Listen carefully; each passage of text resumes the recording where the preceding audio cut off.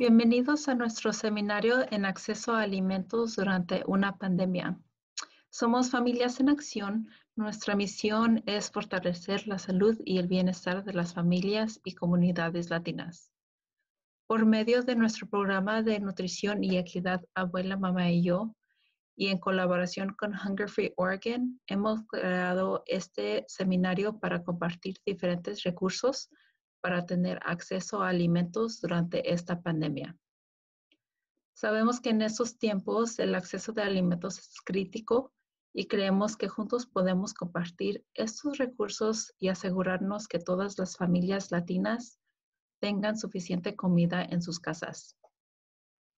Vamos a hablar acerca de WIC, SNAP, almuerzos escolares, dispensas de comida, Meals on Wheels y otros recursos. Sabemos que muchos de los recursos se están actualizando constantemente y estamos tratando de mantener la información actualizada día con día. Esta pandemia está afectando a muchas familias latinas. Muchos siguen trabajando y haciendo trabajo esencial para traernos alimentos a nuestros hogares todos los días. Algunos tienen menos horas, algunos no están calificando para el estímulo federal algunas de nuestras familias y comunidades no tienen acceso a servicios médicos, o no tienen seguro médico, o hay barreras de idioma, o miedo por cuestiones legales. Esta pandemia está afectando a las comunidades latinas de forma desproporcionada. Queremos reconocer, honrar y valorar todo el trabajo que está haciendo nuestra comunidad para salir adelante durante esta pandemia. El día de hoy vamos a compartir información y recursos para encontrar comida y alimentos para familias latinas durante esta pandemia en el estado de Oregon. Creemos que juntos podemos compartir estos recursos en nuestras comunidades y asegurarnos que nuestra gente no esté pasando hambre. Queremos unirnos en solidaridad y hacer una comunidad más resiliente. Sabemos que esta pandemia está afectando absolutamente a todos en diferentes niveles y formas, pero no estamos solos. Hay otras organizaciones tratando de apoyar nuestra comunidad latina en este momento y vamos a salir adelante con una comunidad más resiliente y fuerte. Vamos a revisar los siguientes recursos. SNAP, almuerzos escolares, despensas de comida, WIC, Meals on Wheels y algunos más.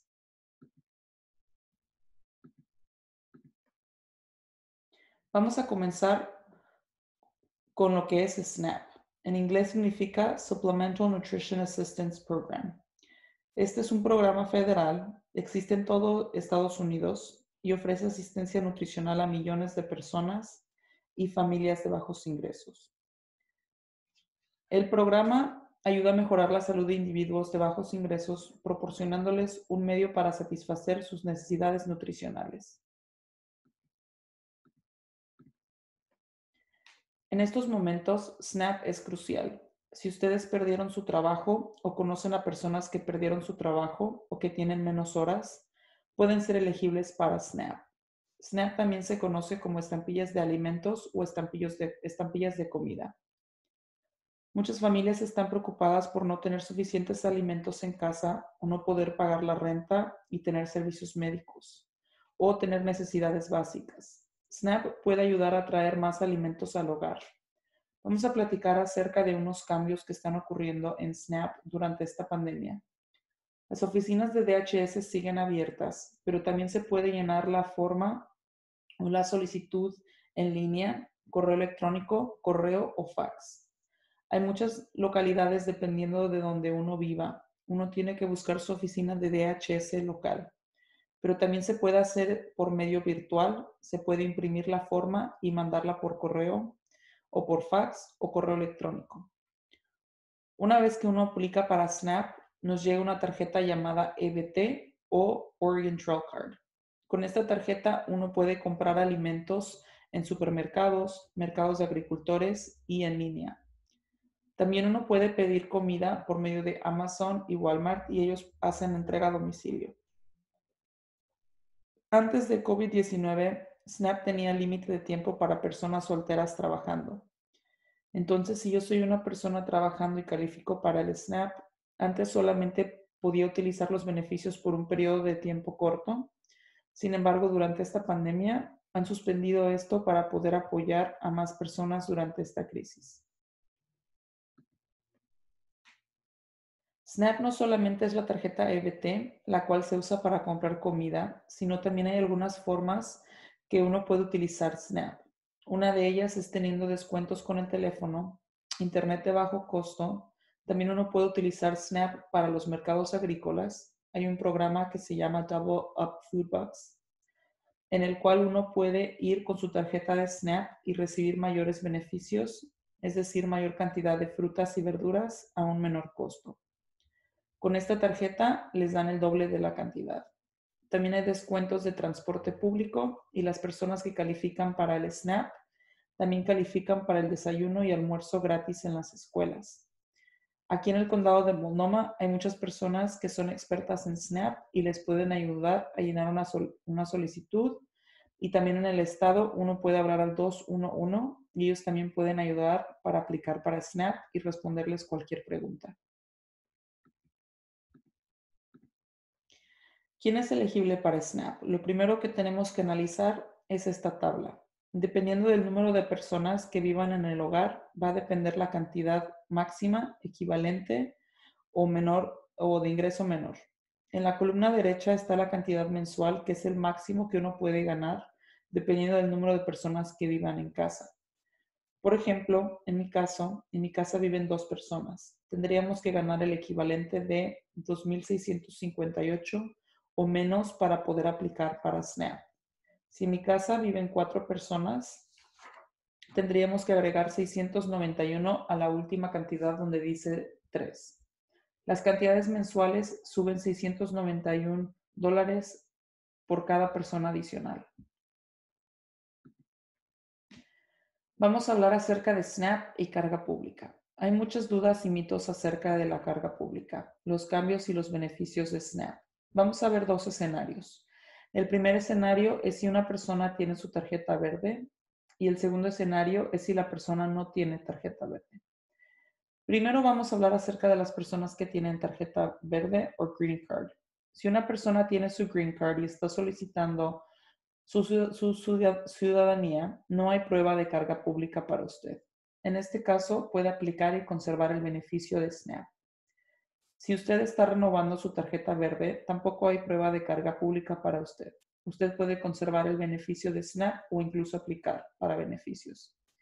Si usted está por salir de los Estados Unidos por seis meses o más, aquí sí podría aparecer la cuestión de la carga pública. Si más adelante usted trata de ingresar a Estados Unidos, en este caso la recomendación es que consulte a su abogado de inmigración. Para ser elegible para SNAP, las personas que tienen una tarjeta verde típicamente necesitan haber tenido el estado de residente permanente legal durante cinco años, al menos que sea un menor de 18 años. Ahora vamos a hablar acerca del caso de si usted no tiene una tarjeta verde. Lo primero que es importante mencionar es que los inmigrantes adultos no elegibles para SNAP por ejemplo, las personas que no tienen papeles pueden conseguir este beneficio para los miembros elegibles de su hogar. Por ejemplo, hijos que son ciudadanos estadounidenses. Si ustedes conocen a alguien en la comunidad que no tiene papeles, pero tiene niños que hayan nacido en los Estados Unidos, pueden aplicar para SNAP. Si usted está recibiendo SNAP para sus hijos que son ciudadanos estadounidenses o para las personas con las que usted vive, su uso del beneficio de SNAP no incluye ninguna prueba de carga pública que se le haga. Usted puede conservar este beneficio para sus niños y familia. Si usted es refugiado o asilado, si tiene una visa o un inmigrante maltratado, tampoco no le aplica la carga pública. Usted puede conservar este beneficio. Si usted tiene DACA, TPS, visa U o si es inmigrante juvenil especial, no hay carga pública para usted pero no es elegible para SNAP y no les darán beneficios. Muchas familias inmigrantes que no tienen papeles, pero sus hijos nacieron en Estados Unidos, pueden aplicar para este beneficio y no tiene absolutamente nada que ver con la carga pública y es completamente seguro para ellos utilizar este beneficio a nombre de sus hijos.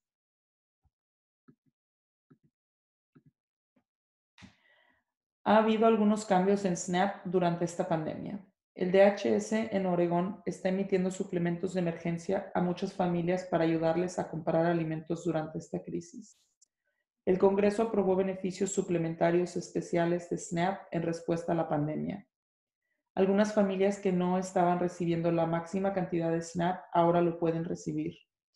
La recomendación es checar su tarjeta de EBT y actualizar al DHS si usted se acaba de perder su trabajo o si le redujeron sus horas porque puede ser elegible para beneficios adicionales.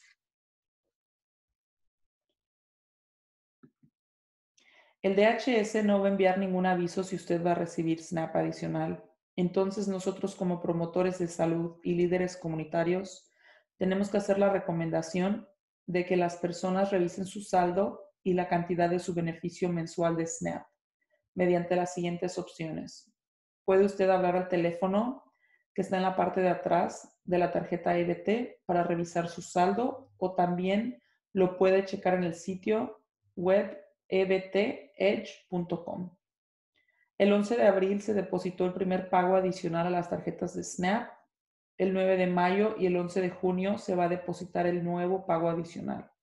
Si ustedes no tienen SNAP, pero piensan que ahora pueden calificar para SNAP, presente una solicitud. Si se recibe la aprobación, también puede calificar para el pago adicional para el SNAP. Para más información, puede visitar la página de oregonhunger.org, eh, raya Apply for SNAP o hable al 211 y pueden ayudarles a llenar la aplicación y responder sus preguntas.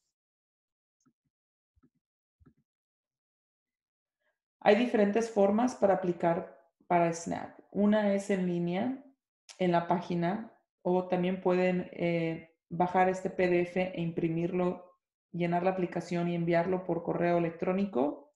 Pueden encontrar su oficina de, DHS y llamar por teléfono para pedirles que le manden una o puede llamar al 211 y preguntarles acerca de SNAP.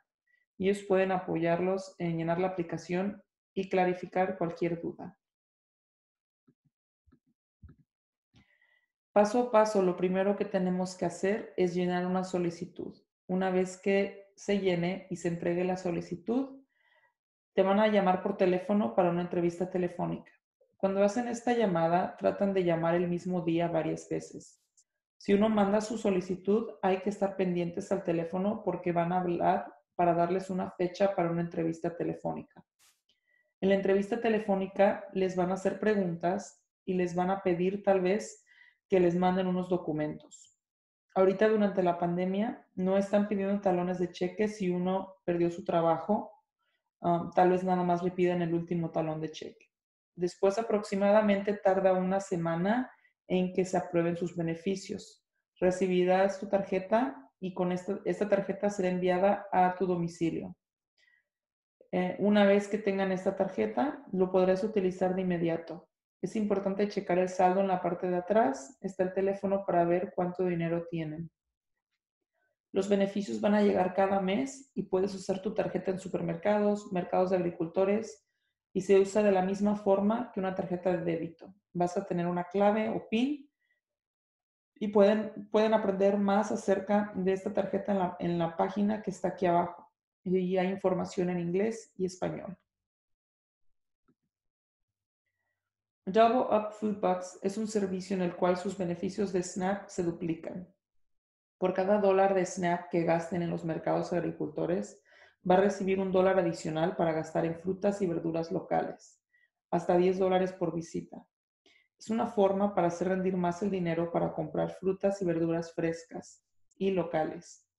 Ustedes pueden encontrar más información acerca de Double Up Food Box o dónde encontrar un mercado de agricultor en este sitio web. También pueden llamar al 211. Los beneficios de SNAP también se pueden, también se pueden utilizar para comprar una caja de CSA a mitad de costo.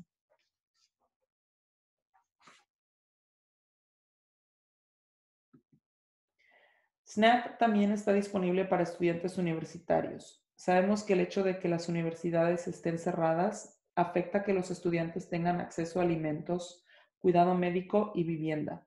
Los estudiantes universitarios se consideran una población vulnerable y no tienen suficiente comida. Es importante compartir que estos estudiantes también pueden aplicar para esto y compartir estos recursos con ellos. Como resumen acerca de los cambios de SNAP durante COVID-19, en primer lugar es importante reportar cambios a su oficina de DHS. Si está trabajando menos horas o perdieron su trabajo, es importante reportarlo, incluso si ya estaban recibiendo SNAP, porque es posible que califiquen para más beneficios. Si perdiste tu trabajo o te redujeron las horas, es posible que ahora califiques para SNAP. Para las personas que tienen que reportar o volver a aplicar para el SNAP durante marzo hasta mayo, los beneficios de SNAP se activarán automáticamente y te lo darán por seis meses.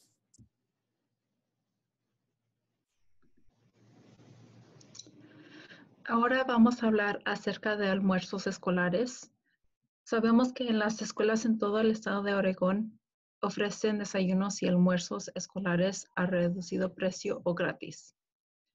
Durante el cierre de las escuelas se siguen ofreciendo alimentos gratis para todos los niños de 1 a 18 años de edad. No se necesita llenar ninguna aplicación y los niños no tienen que ser parte de la escuela ese servicio no tiene absolutamente nada que ver con su estatus migratorio o la carga pública. Los niños no tienen que ser de la misma escuela para poder recibir un desayuno o almuerzo gratis. Todos los alimentos son gratis. En algunas escuelas, el desayuno y almuerzo se pueden servir al mismo tiempo que algunas escuelas dan comida para varios días. Algunas escuelas tienen servicio a domicilio. Esto se conoce como grab and go, porque les van a dar el paquete de comida para llevárselo a casa. Cada distrito está operando de diferente forma, así que la recomendación es checar en, en línea para encontrar la escuela más cerca a usted, el horario y los requisitos. Ustedes pueden encontrar almuerzos escolares por summerfoodoregon.org. Tiene una mapa de todas las escuelas. Pueden ustedes buscarlos por distritos escolares. También pueden mandar un mensaje de texto al 877-877 y después el mensaje ponen food o comida. Les va a llegar después un mensaje de texto pidiéndoles su dirección. Si ustedes no se sienten cómodos, o sus clientes no se, no se sienten cómodos dando su dirección, puede usted poner una dirección cercana o de la escuela o una oficina, tienda o un lugar de que le quede cerca de su casa. Y después les va a llegar una lista larga de donde pueden ustedes encontrar almuerzos escolares o almuerzos para niños. Este es un recurso que tal vez de nuestra comunidad sea una manera fácil de acceder porque sería vía de mensaje de texto. Toda esta información se encuentra en oregonhunger.org COVID-19.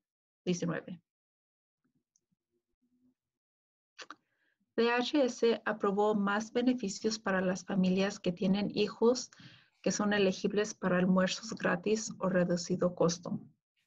Esas familias recibirán beneficios para comprar alimentos durante el cierre de las escuelas. Se conoce como PBT Pandemic. Este beneficio será para 351 mil estudiantes en el estado de Oregón. Los beneficios serán retroactivos a partir del 16 de marzo y cubrirán los meses de marzo, abril, mayo y junio. Este beneficio no será relacionado con la carga pública ni el estatus migratorio. Si ya recibe SNAP y tiene hijos que son elegibles para almuerzos escolares gratis o de reducido costo, recibirá sus beneficios automáticamente en su tarjeta EBT. Para los estudiantes que reciben SNAP, recibirán una tarjeta de Oregon Trail Card con beneficios será enviada a sus domicilios. Si perdió su empleo o redujeron sus horas, aplique en línea en ode.state.org o conéctase a su escuela. Otro recurso en el estado de Oregón son las despensas de comida. El Banco de Comida de Oregón está ofreciendo comida de emergencia. Ustedes pueden encontrar una despensa de comida y mercados cerca de su área en el sitio web que está aquí. Lo llaman Food Finder. El Banco de Comida de Oregón jamás les harán preguntas acerca de su estado legal Pueden pedirles una identificación, pero no es un requisito. No les pueden negar comida. Van a pedir que ustedes compartan el número de personas que viven en su hogar, un nombre y en unas despensas sus ingresos, pero no es necesario verificar absolutamente nada. El banco de comida está tratando de hacer llegar la comida a todos los lugares donde se necesita, disminuyendo barreras. Están también siguiendo las pautas de salud e higiene para prevenir el COVID-19. Las despensas de comida no están relacionadas con la carga pública y toda la información que ustedes comparten es completamente confidencial. Si una familia no tiene hogar o prefieren no poner su dirección, no lo tienen que hacer.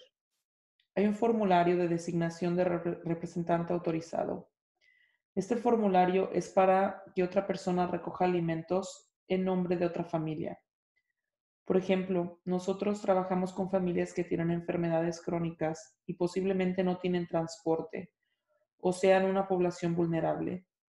Lo que yo puedo hacer como promotora de salud es llenar esta forma. Solo necesito saber el nombre, cuántas personas viven en el hogar y el ingreso. Con esta forma puedo ir a una despensa de comida y recoger comida para ellos. Y si yo trabajo con cinco familias, puedo llenar esta forma cinco veces por cada familia e ir una sola vuelta a recoger comida para las cinco familias. Esta forma es muy útil y de mucho beneficio para los promotores de salud, clientes o voluntarios y se encuentra en español. El Banco de Comida está ofreciendo asistencia para encontrar recursos en la comunidad por medio de navegadores. Están trabajando en un sistema eh, a domicilio para las personas que no pueden ir físicamente por una despensa de comida. Están usando servicios de intérpretes en línea para ofrecer asistencia en diferentes idiomas. Aquí está su teléfono y correo electrónico. Aquí se encuentran algunos sitios de los bancos de comida por regiones. Ustedes pueden encontrar comida o más recursos en la página del Banco de Comida de Oregon. WIC en inglés es Women, Infant and Children, Mujeres, Infantes y Niños. WIC proporciona alimentos suplementarios, referencias de atención médica, educación nutricional y promoción y apoyo a la lactancia materna para mujeres embarazadas, lactantes y posparto, para de bajo ingresos y para bebés y niños hasta 5 años que tengan alguna necesidad nutricional algún factor de riesgo. Por ahora las oficinas de WIC están cerradas, pero hay otras formas de consultar al staff de WIC. Hay servicios de drive-by donde uno puede pasar con su coche. También puede aplicar por WIC en línea y si usted no encuentra fórmula para bebés o tiendas o farmacias, ustedes pueden hablar al servicios del cliente. También es bien importante mencionar que las personas que no están recibiendo WIC ni SNAP traten de no ir al supermercado los primeros días del mes porque es cuando las personas que más lo necesitan, las personas que tienen SNAP y WIC utilizan más las tiendas. Cuando vamos al supermercado, no es necesario comprar absolutamente todo porque hay personas que no tienen ese privilegio de no llevar tanta dispensa y viven del día a día. Ustedes pueden encontrar más información en la página de WIC. Meals on Wheels es un servicio para personas mayores de 60 años de edad, en el cual podrán recibir almuerzos completamente gratis y hacen entregas a domicilio sin costo. Esta población es la más vulnerable ahorita. Son las personas que tenemos más miedo de que se enfermen del virus. y son las familias que están más aisladas. Entonces estamos realmente haciendo la invitación a que cuidemos los adultos mayores lo más que podamos para asegurarnos que tienen suficiente comida y apoyo emocional. En los condados de Washington, Clark, Multnomah existen Meals on Wheels People y ellos llevan comida a los hogares de las personas que viven en estos lugares. Y Meals on Wheels es un recurso estatal, entonces hacen entrega de comida a sus hogares y hay un teléfono y, y también pueden encontrar más recursos en el Aging and Disability Resource Connection of Oregon. Ahí tienen más información para adultos mayores, acceso y entrega de alimentos. Ahora vamos a platicar acerca de la seguridad alimentaria y coronavirus. Por lo general, se cree que el coronavirus se transmite de persona a persona a través de gotitas respiratorias. Actualmente no hay evidencia para apoyar la transmisión de COVID-19 asociada con alimentos. Es posible que una persona puede contraer COVID-19 al tocar una superficie objeto que tiene el virus y luego tocarse la boca, la nariz o posiblemente los ojos, pero no se cree que esta sea la forma principal en que el virus se extiende. Antes de preparar o comer alimentos, es importante lavarse siempre las manos con agua y jabón durante 20 segundos para garantizar la seguridad alimentaria general. A lo largo del día, lávase las manos después de sonarse la nariz, toser, estornudar o ir al baño. Podemos encontrar más información en la página de CDC. Durante esta pandemia podemos compartir estos recursos en nuestra comunidad. Podemos abogar por nuestra comunidad contactando a nuestro legislador y decirle cómo está la situación impactando a nuestra comunidad para que las necesidades de las comunidades sean escuchadas. La semana pasada se aprobó un fondo que se llama Oregon Workers Fund, que es para apoyar a las familias que no recibieron el estímulo federal porque la administración actual no incluye a las personas inmigrantes sin papeles. Este fondo es un apoyo para las comunidades inmigrantes indocumentadas que no recibieron el estímulo federal. Vamos a tener más información acerca de esto. Vamos a investigar cómo pueden aplicar las personas y compartir esto por medio de nuestro newsletter y redes sociales. Si tienes vehículo, puedes apoyar a las personas que no tienen y llevarles alimentos. Es importante quedarnos en casa, lavarnos las manos con frecuencia y evitar tocarnos la cara. 211 es un servicio que ofrece muchos recursos. Aplicar para SNAP les pueden apoyar encontrar una dispensa de comida, un mercado de agricultores y tienen más información acerca de COVID-19. Tienen personal que habla español y pueden contactarlos por teléfono, mensaje de texto o correo electrónico. Otro servicio que tenemos nosotros en Familias en Acción con Oregon Latino Health Coalition es ayudar a las familias a aplicar para Cover All Kids. Cover All Kids es parte del plan de salud de Oregon y ofrecen cobertura médica para todos los niños adolescentes de 19 años de edad sin su sus estatus inmigratorio. Aquí están algunos recursos adicionales de cómo encontrar comida y más información acerca de las estampillas de comida y de cómo comprar alimentos en línea. Hunger Free Oregon hizo esta presentación en inglés. También pueden encontrar ese recurso. Esta presentación que hicimos nosotros es más específica para latinos y tratamos de explicar la información clara para nuestra comunidad. Si ustedes están en Marion o Polk County, ellos están trabajando para tener un parenting hub en donde tienen todos los recursos para las personas que están en Salem, Woodburn y Wilsonville.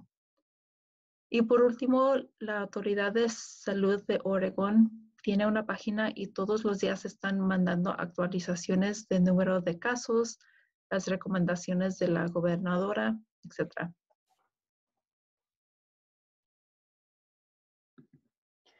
Por último, los, que, los invitamos a formar parte de nuestra red de organizaciones, promotores de salud y líderes comunitarios, promoviendo el acceso a alimentos durante esta pandemia. Estaremos enviando actualizaciones, recursos y formas de apoyarnos mediante nuestro newsletter. Les agradecemos todo el trabajo que están haciendo por sus comunidades y les mandamos un fuerte abrazo. Gracias.